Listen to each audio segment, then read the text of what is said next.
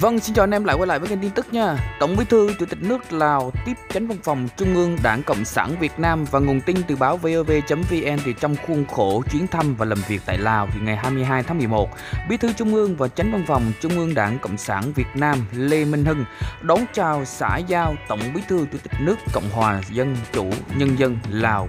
Thông Long Si Xuân Lưng cái tên tôi đọc không biết có chính xác hay không này anh anh em có gì anh em thông cảm nha. Tại buổi gặp thì chánh văn phòng trung ương đảng lê minh hưng bày tỏ sự vui mừng, sang thăm và làm việc tại lào và vinh dự được đến chào tổng bí thư, chủ tịch nước thông long suy xuân linh, người bạn lớn, vô cùng gần gũi, thân thiết của người việt nam, trân trọng chuyển lời thăm hỏi của tổng bí thư nguyễn phú trọng và chủ tịch nước nguyễn xuân phúc đến tổng bí thư và chủ tịch nước lào thông long suy xuân linh. Tránh văn phòng Trung ương Đảng Lê Minh Hưng vui mừng báo cáo với Tổng Bí thư, Chủ tịch nước Lào về kết quả hội đàm hết sức là thiết thực và hiệu quả giữa Văn phòng Trung ương Đảng Cộng sản Việt Nam và Văn phòng Trung ương Đảng Nhân dân Cách mạng Lào. Trên tinh thần là đồng chí anh em hai văn phòng trung ương của hai đảng đã chia sẻ niềm vui chung trước những thành tựu đã đạt được của mỗi đảng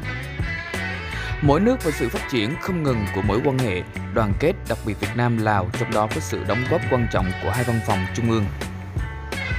vào tại buổi, Tổng Bí thư Chủ tịch nước Lào Thông Long Sisunlun đã đánh giá cao ý nghĩa chuyến thăm và làm việc của đại đoàn biểu Văn phòng Trung ương Đảng Cộng sản Việt Nam cùng với những hoạt động ôn lại truyền thống cách mạng giữa hai dân tộc Việt Nam Lào, đồng thời nhấn mạnh ý nghĩa tầm quan trọng của mối quan hệ Việt Nam và Lào và bày tỏ vui mừng về mối quan hệ đoàn kết đặc biệt của Việt Nam Lào ngày càng phát triển sâu rộng mang lại lợi ích thân thiết cho nhân dân mỗi nước.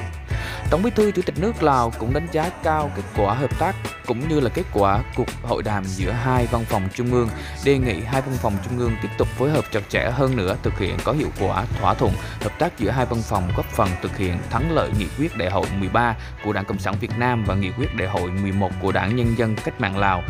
đồng thời giữ gìn và không ngừng vun đắp cho mối mối quan hệ đoàn kết đặc biệt của Việt Nam và Lào ngày càng phát triển đi vào chiều sâu, thiết thực và hiệu quả trên các lĩnh vực hòa bình, hợp tác, phát triển ở khu vực và trên thế giới.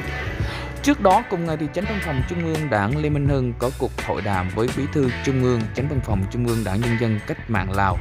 Thông Song Monomet. Và tại hội đàm thì hai bên đã thông báo cho nhau về tình hình của mỗi đảng, mỗi nước và các mặt công tác của mỗi văn phòng trung ương đảng, đánh giá kết quả hợp tác giữa hai văn phòng trung ương của hai đảng trong thời gian qua, trao đổi kinh nghiệm về công tác nghiên cứu và tham mưu phục vụ lãnh đạo chỉ đạo của đảng và một số trong trọng tâm hợp tác giữa hai văn phòng trung ương năm 2023 chúng ta hãy chúng ta hãy cùng nhau vỗ tay cho nước Việt Nam và là chúng ta mãi mãi là anh em nha anh em. Nhớ đăng ký vào chung nha tạm biệt.